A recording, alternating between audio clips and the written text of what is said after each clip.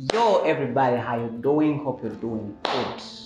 Welcome here to another video and today we are looking at something very rare, something very special. We are looking at the purpose of what we call a capo when you're playing guitar. And before I get into that, the lesson, I just want to remind you about NL Josephine's apartment. This is where I am right now. I think you can see how gorgeous the place is. Uh, they are sponsoring this video. So if you're out there and you need a place where you can just come and rest, have fun, it's a very cozy, beautiful place. You need to check it out. We, are located around Lubowa, Seguku, Salong, Entebbe Road. It's just a few, just a few blocks, just a few meters away from the main road. The place is quiet, it's gorgeous, and you need to come and check it out. Let's get into the video.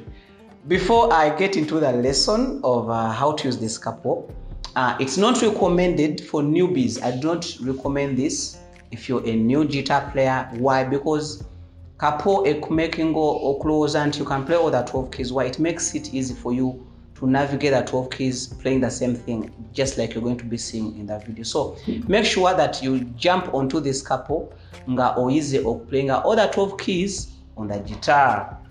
Otherwise, let's get to the video right now.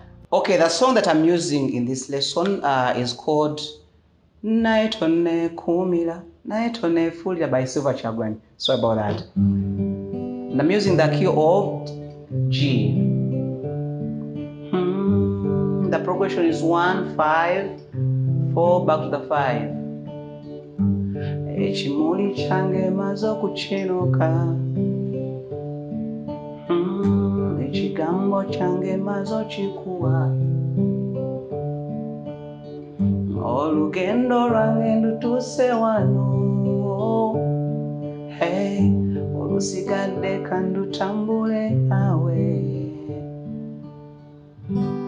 we are getting the camera close for you guys to be able to see what i'm doing with my hands. All right uh, musically we have different vocal ranges okay? Everyone has a, a vocal range wayimbira so oyinza osanga a person singing that song comfortably in the key of g.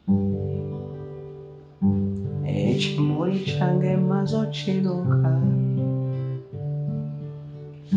ekigambo kyange maze okikuwa kati you can find another one sing the same song comfortably in a very different key okay? So if you're this kind of a person who can only play the key of g and you find certain songs really really high. Nenga ya g because we all play guitar even when you're playing all the 12 keys there are those keys where you're so comfortable playing. So if your key is g and you're not so much like if your vocal range is not good with a key of g you can use the capo to play the same things. For example if i were to place this capo here on the second fret and i play. I'm holding the key of g but the truth is the sound is not g the sound is a. How is this a?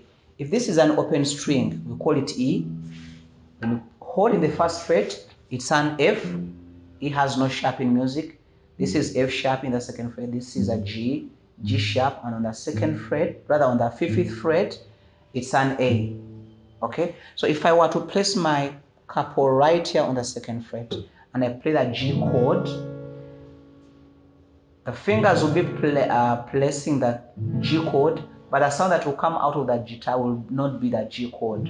It will be the A.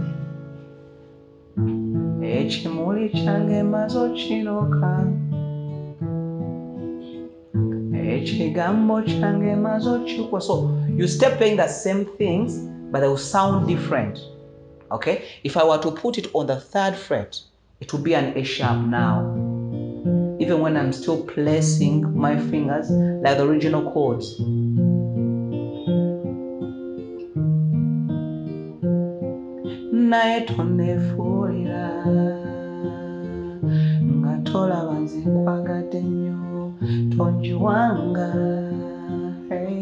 omutima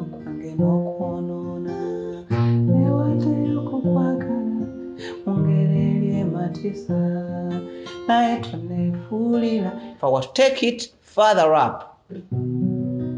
Naye tonneefuulira tolaba nze nkwagadde nnyo. Tonjiwanga eh, obulamu bwange n'obwonoona. Newaddeyo kukwagala mu ngeri eri ematiza newaddeyo buli mbeera mukwano yeah, yeah. Now that does not only work on the key of G, it works on all keys. If I'm playing an open key of D,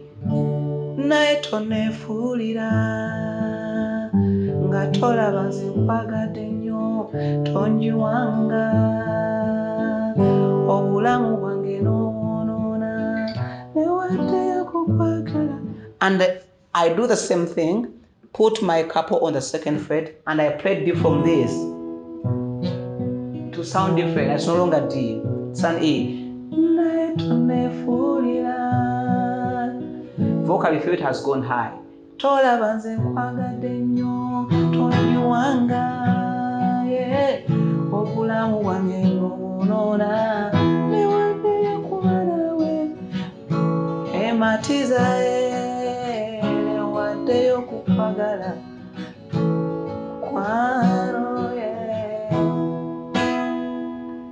Yeah. That's it. Hope you've got it. And I hope this lesson helps. Hope you guys have got something from this video, also on the use of this capo. Uh, before I leave, I just want to ask you guys to subscribe for those that, that have not yet subscribed. Hit the notification so that each time I upload a new video, you get notified. Uh, if you have any comments, if you have any questions, if you have anything that you want to talk to me about, below is my phone number, and uh, you can always leave a comment in the comment section. Hit the thumbs up button. Otherwise, I love you so much. Use this year to learn something new and amazing. I love you so. I love you. I love you. So, I love you so much.